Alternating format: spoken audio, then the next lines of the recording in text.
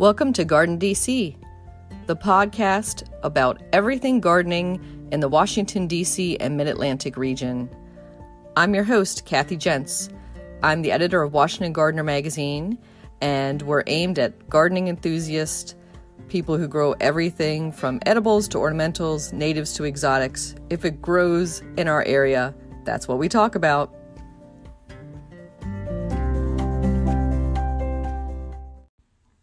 Welcome to episode 108 of the Garden DC podcast. In this episode, we're joined by Jessica Damiano, the Associated Press's gardening columnist, and we're talking to her all about frugal gardening tips. You'll definitely want to check out how she reuses lampshades in the garden. The plant profile is on chamomile, and we share what's going on in the garden as well as some upcoming local gardening events. This episode of Garden DC, we're joined by Jessica Damiano. She is an Associated Press gardening columnist and a garden consultant. Welcome, Jessica. Thank you so much, Kathy. I'm so happy to be here. Great to have you. And I can't wait to dive into our topic of frugal gardening because that is a topic near and dear to my penny pinching heart. so, and we'll be dropping lots of tips and, and experiences for frugal and cost saving and inexpensive gardening advice. But before we go into that, Jessica, we like to ask people here on the Garden DC podcast were you born with a green thumb and chlorophyll in your veins? Uh, I don't think so. I grew up. I'm I'm the I'm the child of immigrants. Parents are from Italy, and my father always grew a garden. You know, growing up, so we had grapevines in the backyard and always tomatoes, peppers, herbs. And my dad grew roses, and every week during rose season, once a week he would cut roses and bring them in for my mom and put them in a vase. It was very sweet. But did I was I involved in the gardening? No, except for once when I was grounded and my punishment was having to weed, which to be honest, I still consider a punishment. Some people find it, you know, meditative. They love mm-hmm. weeding. And say yes if there's one or two weeds, but if you're overrun, somehow that sucks the fun out of it. But, you know, growing up, it was always, you know, Jessica, go outside and get some basil or go pick a couple of peppers for dinner or whatever. And that's just how I grew up. It was like a way of life. So, um, I wasn't involved in it, but I was surrounded by it. And then um, it's funny story. When I was in high school, they made um, I guess I was a junior in high school, you know, getting ready to make some college decisions, and they made us all take an aptitude test that was supposed to, you know, it was like a personality test, just answer a bunch of unrelated questions, and it was supposed to tell you what you were best suited for career wise.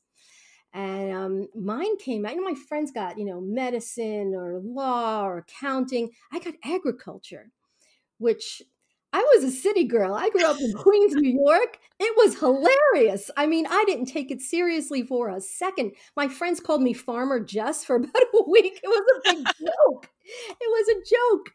Um, but, you know, sometimes what you're meant to be is what you're meant to be. Um, as an adult, you know, when I um, when I got my first home, I always planted perennials and vegetables, tomatoes, always tomatoes.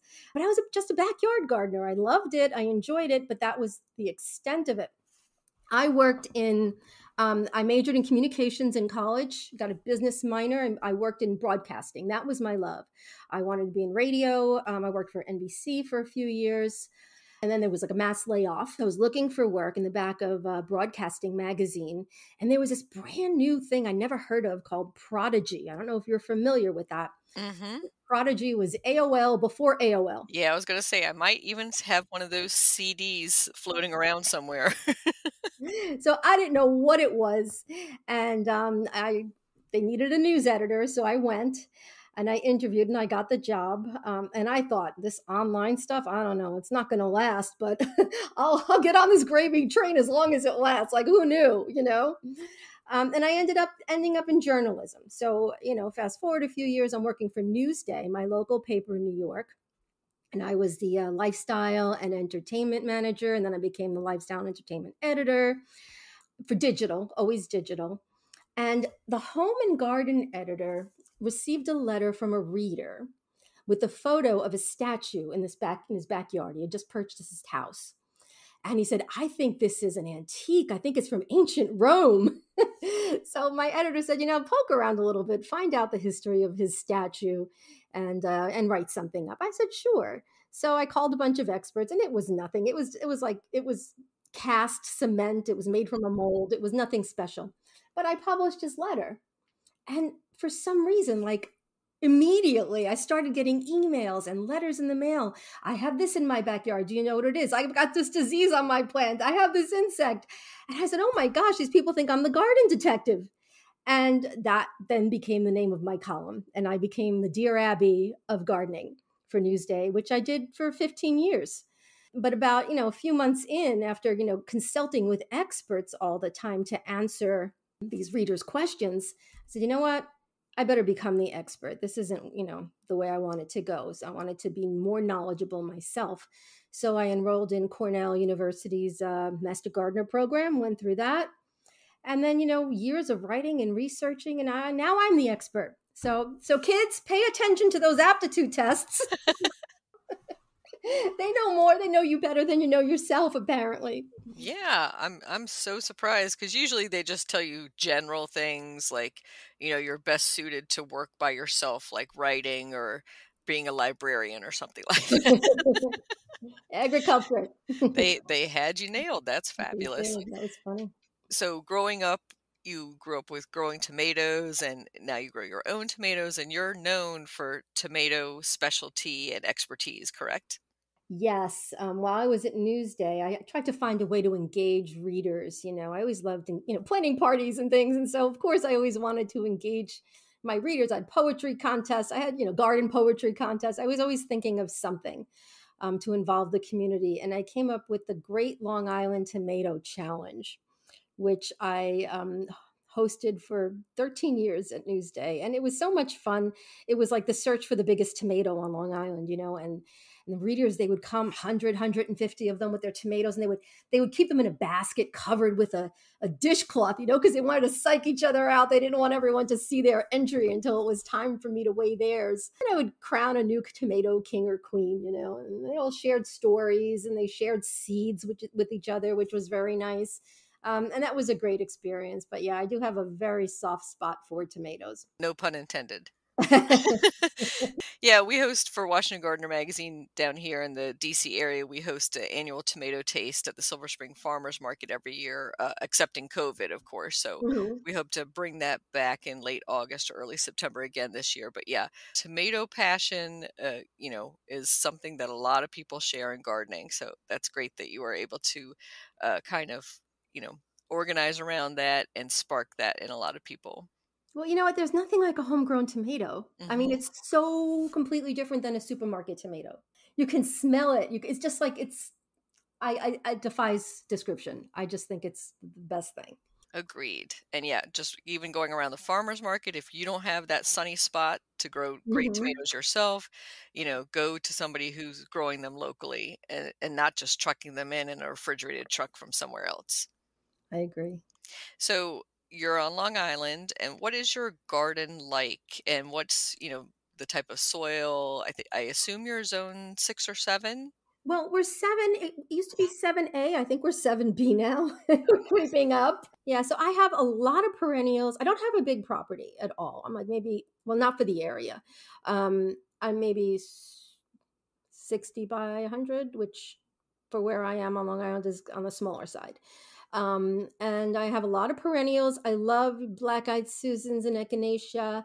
Um, got some knockout roses. I'm a pink, purple, orange girl. I just love that combination. It looks like candy. It just makes me happy. And in the back, of course, I have my tomatoes. Um, I grow a bunch of herbs. Um, growing zucchini now. I had such a hard time with zucchini last year because um, it just wasn't pollinating. And I tried. I even hand pollinated, and to no avail it really i didn't get one zucchini. I mean i got one but it was like you know stunted and ruined on the end yeah. because it wasn't pollinated.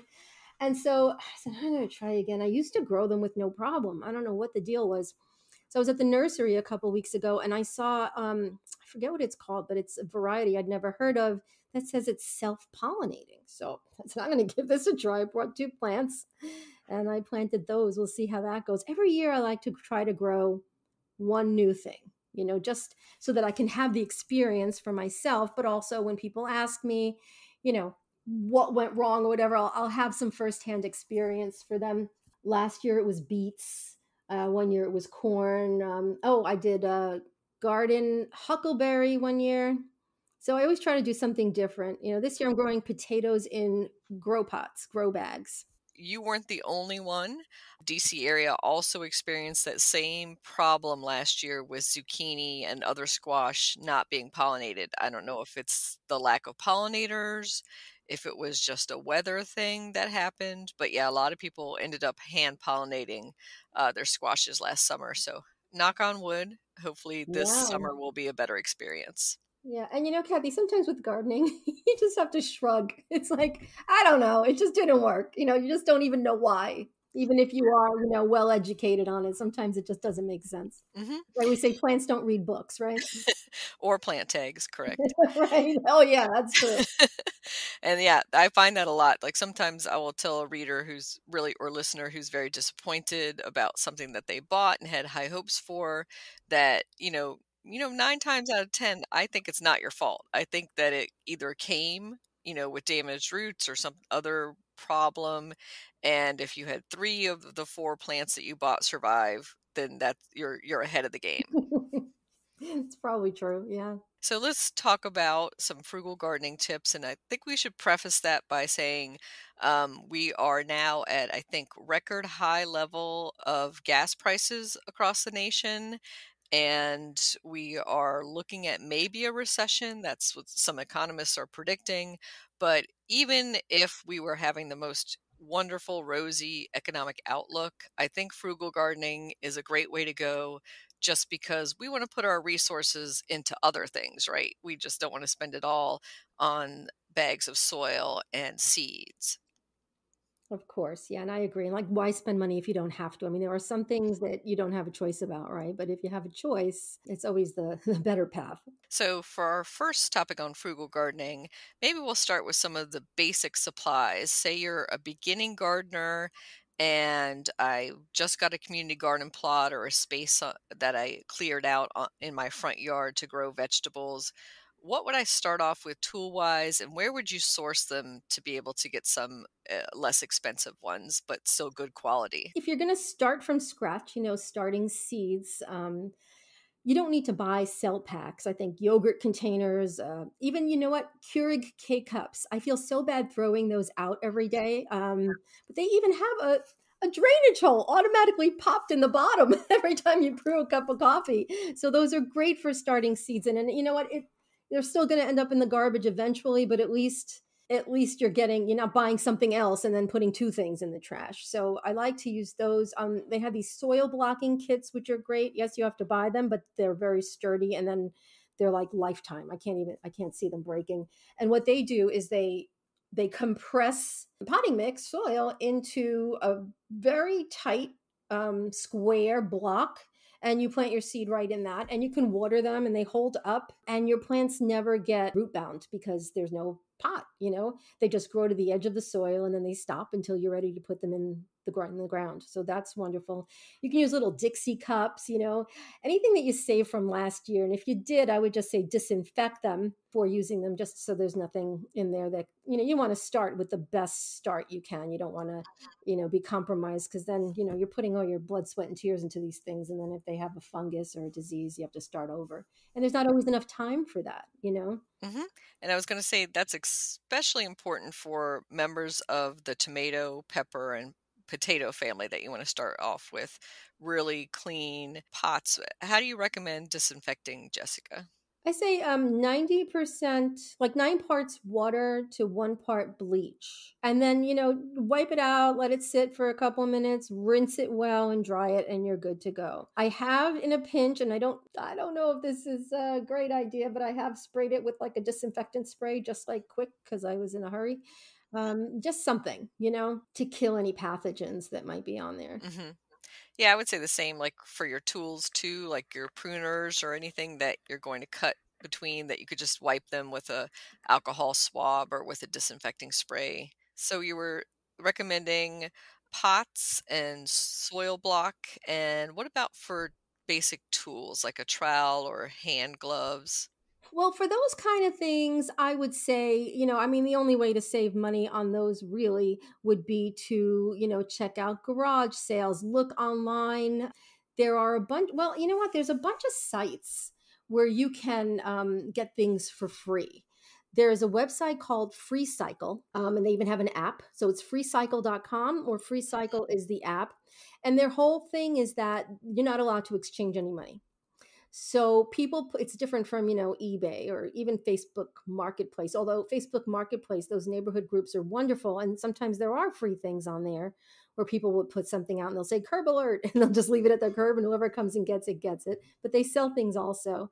Um, but FreeCycle is 100% free. And people put all sorts of things on there from like, you know, old TVs, furniture, whatever, you know, but then also tools and garden tools, garage tools. They they even put plants on there. Or if they started too many seeds and they have extra seedlings, they'll say, "Oh, I have you know twenty tomato seedlings. Come and get them. You know, where are you?" And it's great. You go on there and there's all different towns listed. You put in like your zip code, and there's towns listed um, near you, and that changes from day to day depending on what's being offered and where.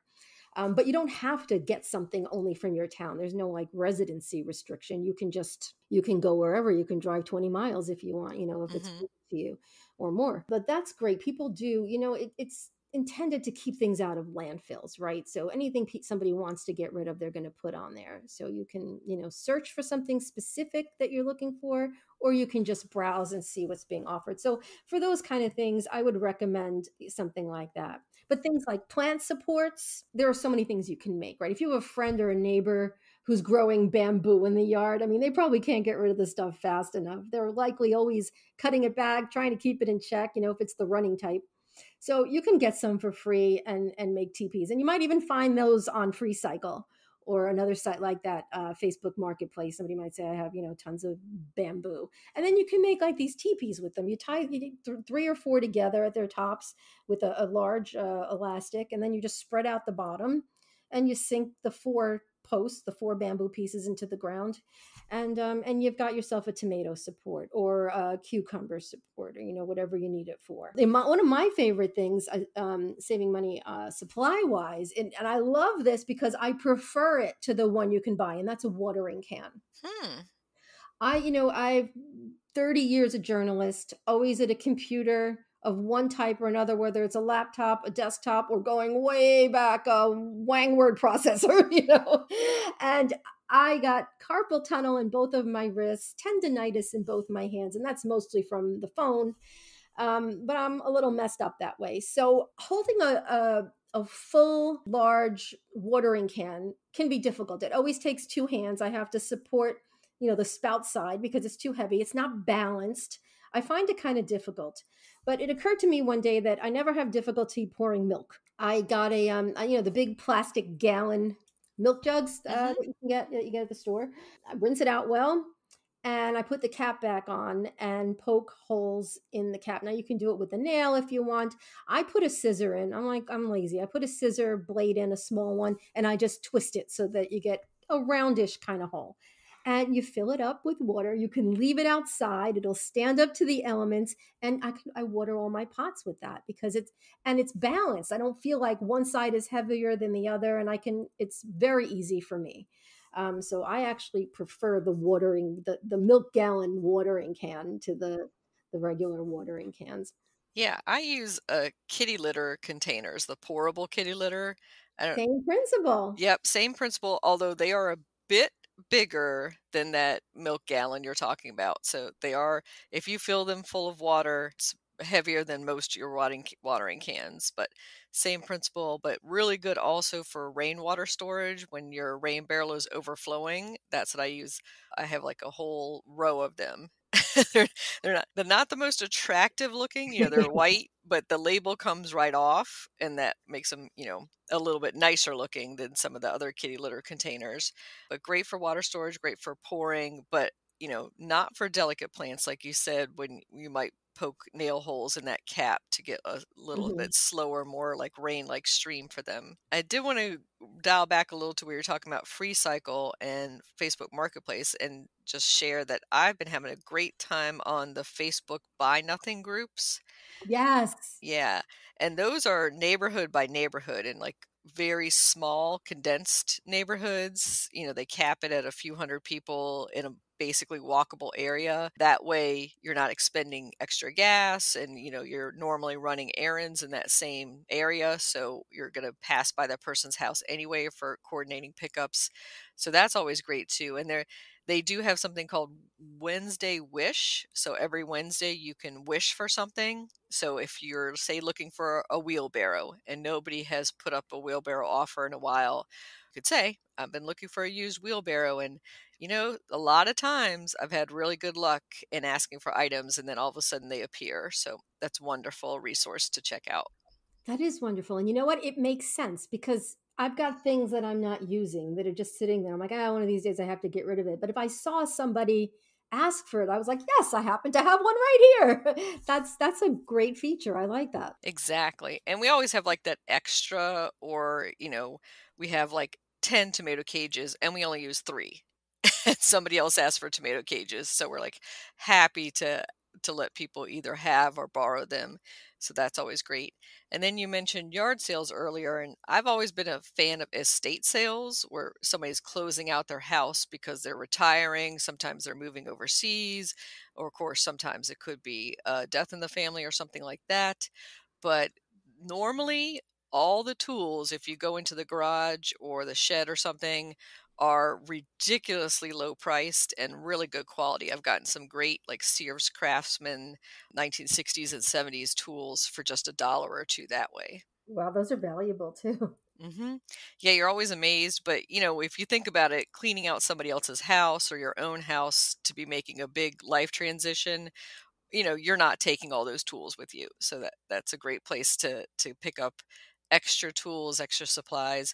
Of course, things like fertilizer and pesticides and cans, you know, that are old on the shelf, you probably want to avoid those. So maybe Jessica, we could talk a little bit about that and some of the age of things. Like so if a free cycle person or buy nothing or at a yard sale you saw an old can of iron phosphate or something like that, what would you recommend people look for as far as whether it's still viable or useful? Even maybe old seeds too. Yeah, well, seeds are a gamble, right? I mean, some seeds can last a really long time if they're stored properly. But in that kind of a situation, you don't really know how they've been stored. You know, I store my seeds in the refrigerator away from fruit in a paper envelope inside a glass jar. But, you know, if someone's got them out in the garage in the heat and exposed to the, you know, the changing temperatures throughout the year, they might not. So I always recommend, of course, and I myself, I always test my seeds for viability before I try them out because again you know you have to wait you know some seeds germinate in a few days some germinate in 10 days some can take 20 depending on what you're growing. And if you wait and it's a long time before you realize that most of them are not sprouting you might not have enough time to start over you know to get your seedlings out in time and then you have to go buy starter plants. So, you know, I test them and there's a couple of ways. Um, I put them in a, a paper towel that I keep moist inside a Ziploc bag and um, check it every few days. And then, you know, if I put 10 tomato seeds in there, for instance, and I'm always going to use tomatoes as my example because I'm a, I'm a tomato girl, but it works with anything. If I put 10 in there and then only seven germinate, that's 70% germination rate, right? So then I'll know I need to to sow 30% more in order to get the amount that I'm aiming for, you know, on average. So um, that's a good thing. But also, there's like the sink test. You know, I like to say seeds. A lot of seeds are like Salem witches. They used to say if they drown their witches and if they survive, I know, if they survive their witches, so they would kill them. And if they drowned, and if they drowned, well, they weren't, but they died. Mm-hmm. So it's the same kind of thing with the seeds. The floaters are are no good. So we have to get rid of those because they don't contain. They've probably dissipated like their life energy and what food stores or whatever's in there. But the ones that sink, if you you know put a bunch in a glass of water, those are generally fine. So that's another test. You know, something else is like peonies, peony supports and plant supports, right? Um, a lot of people go out and they buy these peony supports or they um because peonies are beautiful plants right for about two weeks in spring and then they give up and they lay down on the lawn until you cut them back but i've seen gardeners use tomato cages to hold them up but those cages are four feet tall five feet tall and peonies are maybe what three feet tall so you know wire cage sticking out on the top of your beautiful plant with all these gorgeous flowers on it and that, that's less than ideal right so they do make these supports specifically for peonies but why buy them when you likely have something that will work just as well at home already, maybe in your attic or your basement? Lampshades, large lampshade frames are the perfect height and shape to support your peonies. Like if you have an old, and you know what? It's garden, it's uh, gardening season coincides with uh, garage sale season and yard sale season. So it's a perfect time to go out and look for an old lampshade. You could probably get it for a dollar, maybe less. Um, just take the fabric off and then place it upside down with the wider part. You know, and they go out at an angle usually the mm-hmm. wider part at the top. And just as the peonies, the eyes are sticking out of the ground, just as they're starting for the season, you just place that over the ground. And you could put little, um, those landscape uh, little anchors, you could stick those into the ground if you want. But I just, I just put a little soil over them and they stay in place. And then the uh, the peonies grow up and out through them and hide them completely, and it holds them up beautifully and you can leave them out all year. It doesn't matter if they get rusty because nobody will see them, you know, and they last for very many years.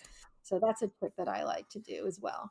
I love that. That's such a perfect use, especially for old stained lampshades or maybe it came from a smoker's home and mm-hmm, you know mm-hmm. yellow or stained so just rip off that old fabric covering and then you have still have that great wire frame for it that's i'm going to be on the lookout for them now myself and, and check those out. And that can maybe even be used for other perennials too that are a bit floppy as well. So that's great. You could use the tall, narrow lampshades for that versus the the wide ones for the peonies. And so the next supply I was going to ask about are fertilizers because we're about to see a huge spike in fertilizer prices due to the situation in Ukraine and also the fuel prices.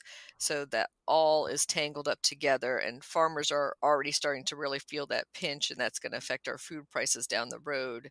But for the home gardener, we might not see that fertilizer spike in price quite yet, but you'll probably start seeing sticker shock. So, what are some of your cost saving tips for fertilizing?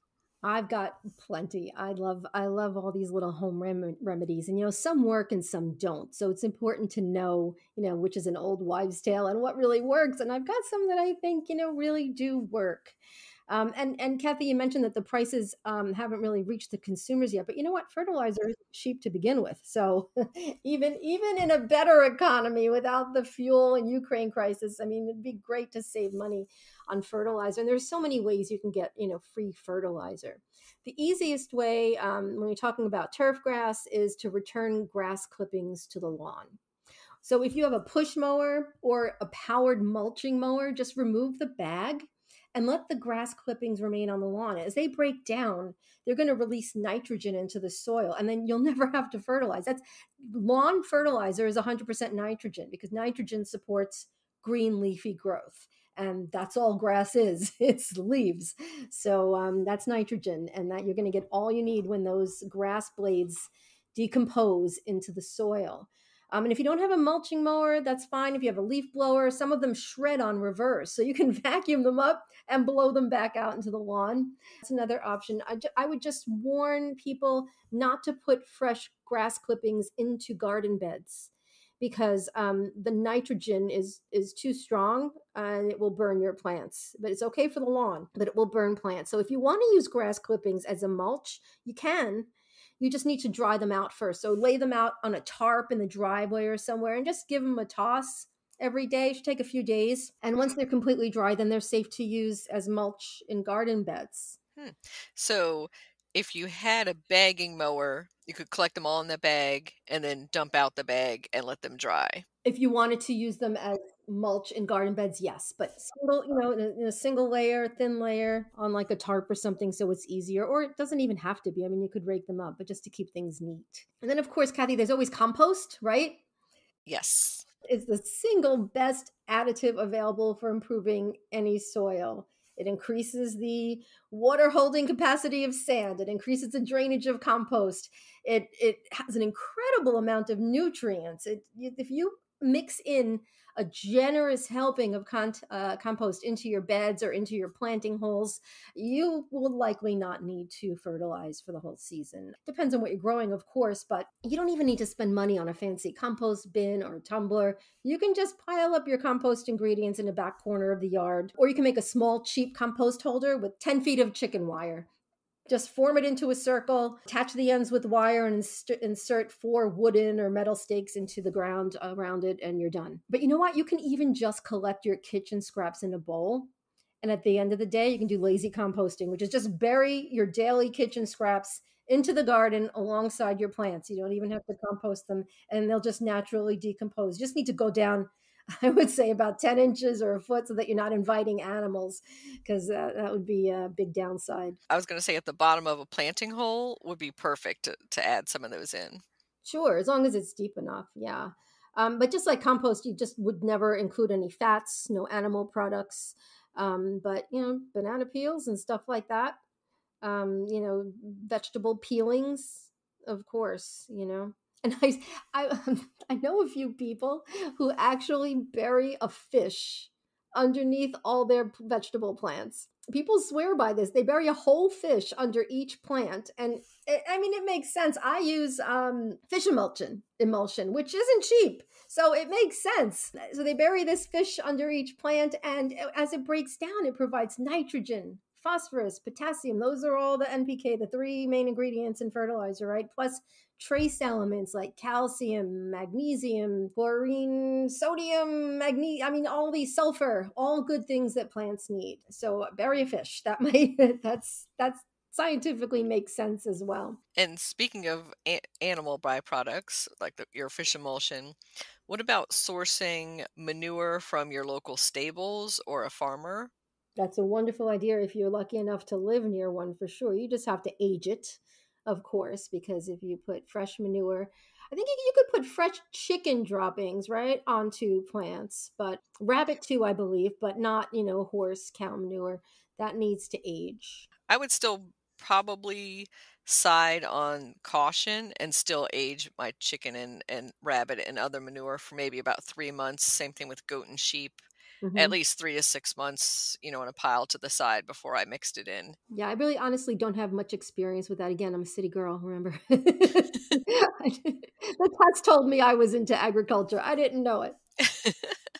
yeah, but that is one if you have animals obviously that's free to you and free for you to use and then of course if you have a friend or know somebody who is giving away animal manure if they can age it for you even better. And you know what else, Kathy? When you boil vegetables and throw out the water, you're pouring free fertilizer down the drain. It's full of vitamins, all the vitamins, you know, that leached out of the vegetables. Um, so you can let it cool and water your plants with that. And water from boiled eggs is full of calcium. So you can use that water to water your tomatoes and your peppers to help stave off um, blossom end rot and add calcium, which they need. And you can even use eggshells in place of garden lime. Limestone is made of calcium carbonate, right? And eggshells are also made of calcium carbonate. So that makes sense. You just dry out the eggshells for a day or so. You can even microwave them, I guess, for a minute just to like dry them, dehydrate them a little, and then pulse them in a food processor. Same with banana peels, let them dry for a day or so. And then it's full of potassium. You know, banana peels are great. And you just sprinkle it on your plants. Same with coffee grounds for acid loving plants because it does lower the pH a bit. I don't know if a lot of people know, but if you wanted to use coffee grounds either in your compost or just to sprinkle around your acid loving plants like blueberries, rhododendrons, azaleas, those kind of plants, um, you can go to Starbucks in the morning and just ask them to save you their coffee grounds. And then you pick them up at the end of the day. They have a program where they'll give it out for free. So that's nice. Mm-hmm. I think a lot of local coffee shops do that as well. Mm-hmm. And I was going to say about the the eggshells, I do that. I just zap them in the microwave for a second, but I'm throwing out whole banana peels into the garden and they don't decompose at all. so I'm going to take your tip of pulsing them and grind them up a little bit because the whole peels just take forever. I still find them, you know, months later in there. Same thing in the compost pile when I throw a whole banana peel in. Of course, I take that little plastic sticker off court, you know, beforehand.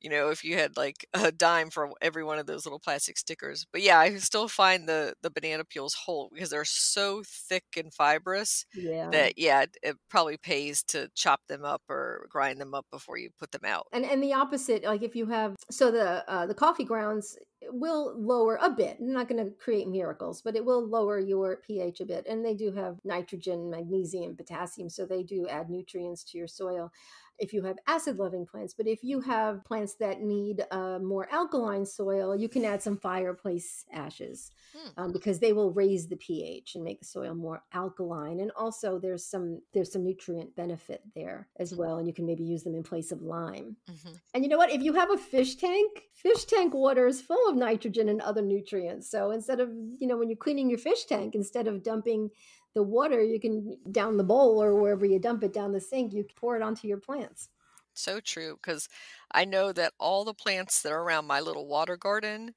are in much better shape than those that are just a little bit farther because they get watered by dipping a can into the pond and getting that really good fish poopy water is, is, what I call it. It's like the the the trademark fish poopy water. I like that. so for our, next frugal topic, and I think this is the one that most gardeners want to know, is saving on plants because that's the biggest part of our our gardening budget, right? Our new perennials, new shrubs, new trees. So, what are some great ways to save on new plants? Well, fall is the best time to save on perennials. Nurseries are trying to liquidate their remaining plants, right? So you can really score some steep discounts in the fall. But you have to make sure that the plants are healthy because they've probably been sitting on a shelf all summer, right? Which means they could be root bound or suffering from root rot or have a mold or fungal disease. So inspect them carefully and then make sure that plants aren't root bound. You know, turn pots over, check that the roots aren't growing out of the drainage holes. But if they are, that means the plant has overgrown the pot and that stresses it out. So, but it still might be a good buy as long as the roots are healthy. So, what I do, and people feel uncomfortable doing this, but you're allowed to do it. Slip the plant out of its pot gently. You're not ruining it. Just take it out of its pot. And first of all, the all come out in one piece. You know, the soil, the, the root should be anchoring into the soil. And if it's not, that's your sign right there. Those roots are not doing their job. So you don't want that plant. But if it comes out, and it probably will, just inspect the roots. If they're you know, a dark yellow or brown or God forbid black, or if they're mushy, you know, that's no good. They're they're done. So um, you don't want those. And if you see a tangled mess of roots encircling themselves, that means they're girdled and they're just growing around themselves because they've been in the pot for too long and they have nowhere else to go. So they're kind of choking each other themselves off. So try a different plant. But if they're all pot bound, you can still get them as long as there's no sign of rot. If they're, you know, fresh and cream colored and healthy looking, you just need to tease them apart before you plant them. And you can use a fork to scrape the sides of the root ball or just clip them with pruners here and there, which I do, or or just gently rip them apart with your fingers. Um, you won't kill it, just be gentle. And then they kind of wake up and then start growing outward, and that's all you need. So you can find sales during the fall. And then if you, you know, during spring or in summer, if you, you want to buy plants, obviously during planting time so that you can enjoy them for the upcoming season. You know, many people, I've heard a lot of advice to gardeners that recommend buying smaller plants to save money and then having patience, right? Waiting for them to grow. But in a lot of cases, I say get the biggest one. Hmm. If you compare the cost of purchasing a larger plant that can be divided into three or four plants with that of buying several smaller ones, you might come out ahead. So you have to do the math, but I, oftentimes you'll come out ahead. And many perennials that we know can be divided, right? And that's not just when they're overgrown. Many larger plants can be divided as soon as you get them home from the nursery. So spending more on a gallon pot that you can divide into two or three plants to me makes a lot of sense. And any perennial with a fibrous root system can handle this. Plants like hosta, black-eyed Susan, echinacea, purple coneflower, right? Salvia, so many more. And ornamental grasses. Any herbaceous perennial with a root ball or bulblets like daylilies, they can be divided this way. Just slice through the root ball with a gardening knife. I like the Japanese hori hori. Mm-hmm. You know, that's another way to save money. Get a tool that does performs many things. I, I try not to get tools that only do one thing. So, like a Japanese hori hori knife, it cuts through soil. If you need to cut roots in the soil, you can. You can use it to plant bulbs. It's good for many uses. You know, you get it from one purchase. So, to me, that's a frugal strategy. And then, you know, remove the plant from its container, separate its leaves Mm-hmm. to see where they attach to the root, and then cut through that portion. And as long as there's two or three healthy leaves on top of each root portion, your new plant should grow and thrive. You just plant it else, you know, plant one here, one there, and and I think you've saved money. To me, that's that makes sense. I love that. My little trick is, you know, when you look at a four pack or something of annuals uh, Mm-hmm. in the springtime, and sometimes there's an extra one in there, like there's five in a four pack. So, so you'll find me combing through the four packs looking for the one or two that have an extra little plant that you can pull apart in there. Yes, they dropped the ball when they were thinning them out. I love those. it's like an extra bonus. And then, of course, once you have a perennial in your garden, um, in most cases, you're sitting on a little plant factory. Plants like hosta, ornamental grasses, once you buy them, you never have to buy them again. After their third year, you know the old, you know, the first uh, first year they sleep, the second year they creep, and the third year third year they leap. Um, after that third year, most perennials are large enough to be divided. And since you only need three healthy leaves attached to each root portion, I mean, you can make a lot of babies. So that's it's another um, strategy that I always use. And regardless of root type, you know, like the um, there are some plants that like are running or spreading roots, right? They they send roots down into the ground, but then they have other roots, uh, secondary roots that grow horizontally on the soil surface or sometimes just below. So that's even you know easier to divide. You just clip the the horizontal root that's root that's connecting one plant to another, and then you just dig one up. And you could do that with ground covers like juga, bugleweed, bugleweed. I never know how to pronounce that. Mm-hmm. How do you pronounce it? Yeah, bugleweed. Bugleweed. Or, but I think most people say juga around here. But yeah, same thing with like creeping jenny or anything that spreads by underground stolons. Right. Yeah, super easy to separate that way. All you need is a tiny section of root, really, for most of them. Yeah, so that's that's something that I don't think occurs to some people. Um, it didn't occur to me for the first portion of my gardening life, and I was like, wait a minute, why am I buying more? Um, and of course, you can take cuttings. They just take a five or a six inch portion of a stem is from the strongest, healthiest stems on your plant. Cut it on the diagonal, dip it in rooting hormone if you have any, and plant it in a 50 50 mix of perlite and peat moss. Again, use that old yogurt container, leftover pot from the nursery. Just make sure there's drainage holes in the bottom, old cell pack, and keep the soil moist. And they root pretty quickly, you know. And then when you give it a gentle tug, if you feel resistance, you know you've got a root and you can plant it. And then for succulents like sedum autumn joy, you don't even have to go through all that trouble. I just I just clip the top of new growth in the spring and I bury it right in the ground where I want it and usually in a, a shaded spot, but right next to the other one. So now I have like a, a growing every year I do it and I have a growing line of them. I think succulents are the gift that keeps on giving. There's, you know, almost always you can just break off one part and regenerate a new plant with succulents. Yes, yeah, and that's and if, if you just take a few minutes to do that, it's not like it's a big time time suck. You just do it. You're saving so much money, and you know? You're saving your trip to the store too. So, and also, you know, you're saving your plant because sometimes it breaks off en route Mm-hmm, to your home, and you're like, oh no, I snapped off the top of that sedum, or you know, if I've it's a tall it. one, yep, yep, we've all done it where, you know, something is snapped off a plant part and you're like, will this root in water or will this root in soil? So you, mhm. you can experiment with both of those ways. Great. And you know, of course, growing from seed ob- is the most obvious tip, but that's also m- more cost efficient than buying starter plants. I mean, a package of seeds costs anywhere from like dollar and change up to maybe maybe four dollars, maybe a little bit more. I've never seen a packet of seeds for more than five dollars, um, more than four dollars, and even at that high end, consider again. I'm going to go back to tomatoes.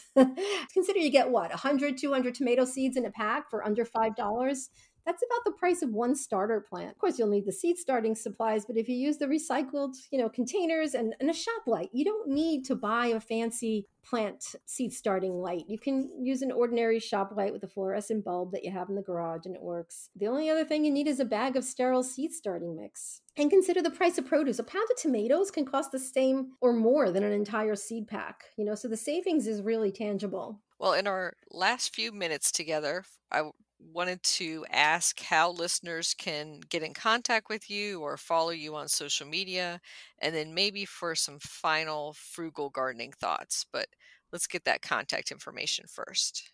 Okay, well, my website is jessicadamiano.com. It's D A M is in Mary, I A N N is in Nancy. Oh, I always spell it out.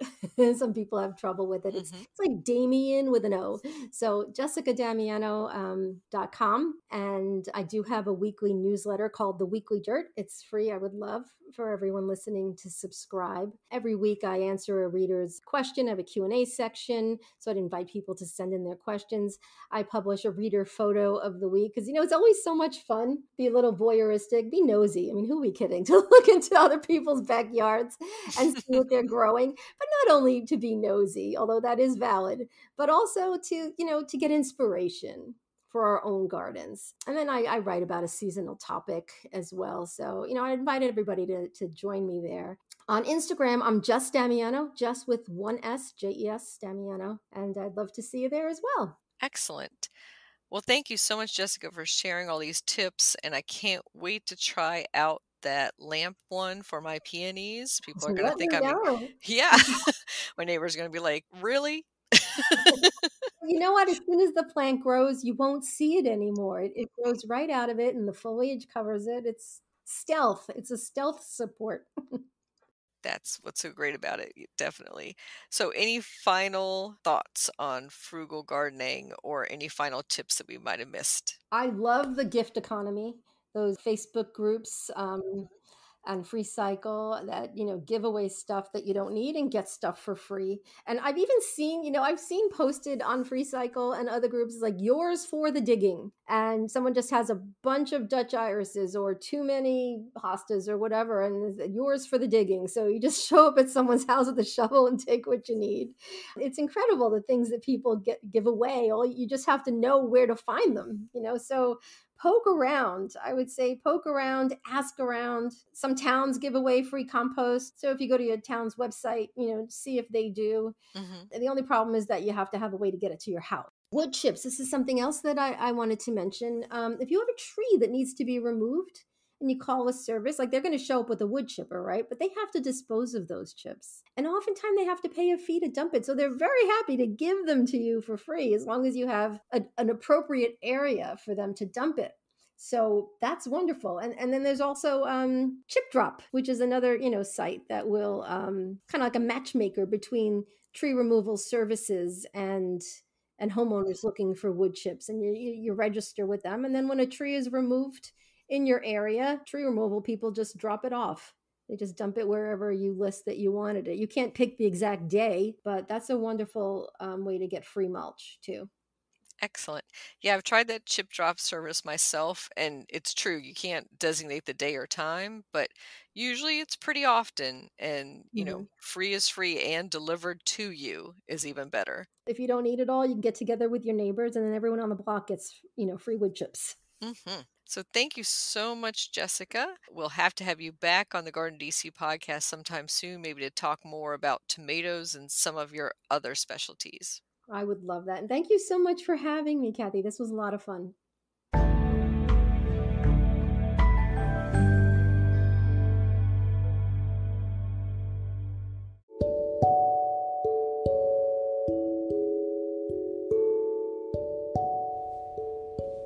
Chamomile plant profile. Chamomile, Matricaria chamomilla, is also known as German chamomile or wild chamomile. It's also pronounced chamomile. It is an annual flowering plant in the daisy family that is used as an herbal tea. It is known for its curative properties, including treating anxiety and an upset stomach.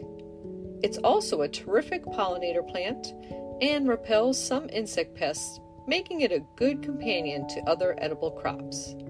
It is native to Europe and is hardy from USDA zones 2 to 9. A close relative is Roman chamomile, Chamaemelum nobile. It is a creeping ground cover that is perennial and used herbally in the same way as German chamomile. Chamomile prefers rich soil in a sunny location. It can survive in hot climates with some protection from the afternoon sun, but it does better in the cool spring and fall seasons in our region. It does not need any fertilizer, and it grows as well in containers as in the ground. Chamomile is easy to start from seed, or you can purchase a small plant. In future years, you may find it reseeding itself where it grew before, and you may never need to buy it again. To harvest chamomile, cut off the flower spikes and hang them upside down to dry for a few weeks to concentrate the flavors. After they are dry, snip off the flower heads and place them in a jar. Add a spoonful or so to a teacup and pour boiling water over them. Let them steep about five minutes, sip, and enjoy. Chamomile, you can grow that.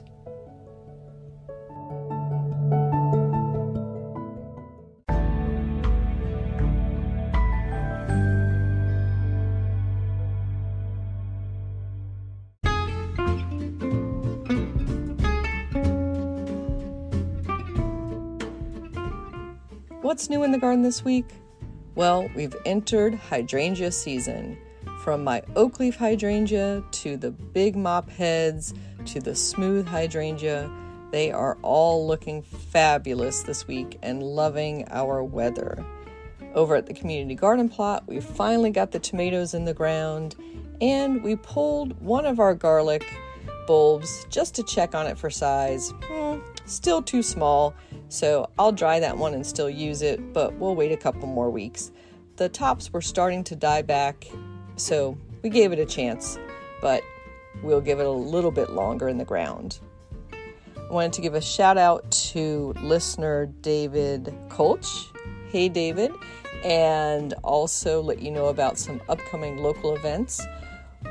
So, there are a series of tours by landscape architects in the DC area, and it's part of What's Out There Weekend, Washington, DC, June 18th and 19th. Two days of free expert led tours, and you'll find out more information about that from the Cultural Landscape Foundation website, and you can also check them out um, through the National Park Service. And I'm going to give you the website for the Cultural Foundation, tclf.org.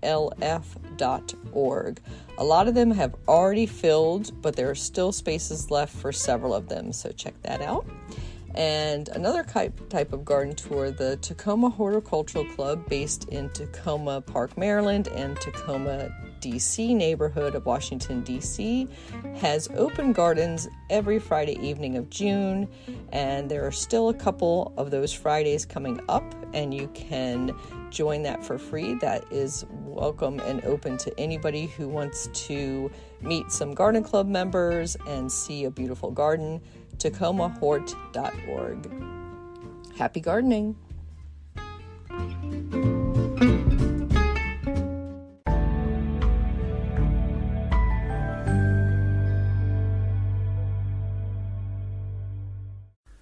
In the new book, The Urban Garden by Kathy Jentz Teri Speight, you'll find dozens of inspiring and creative ways to grow flowers, shrubs, vegetables, herbs, and other plants in small spaces and with a limited budget. Whether you want to grow on a balcony, rooftop, front stoop, or a tiny urban patio, turn your growing dreams into reality and build a gorgeous and unique garden that showcases your personal style while still being functional and productive. With the ingenious ideas and resourceful tactics found here, you'll be maximizing yields and beauty from every square inch of your space while also making a lush outdoor living area you'll crave spending time in. The Urban Garden 101 Ways to Grow Food and Beauty in the City comes out this spring. You can pre order it now at Amazon.com and Bookshop.org.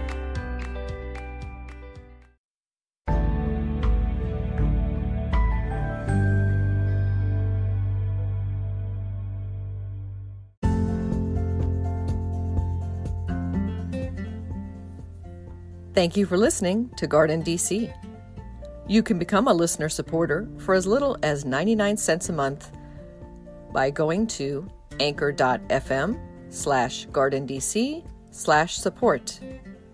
Another way to support this podcast is to subscribe to our monthly digital publication, Washington Gardener Magazine. To do so, go to washingtongardener.com. Thank you.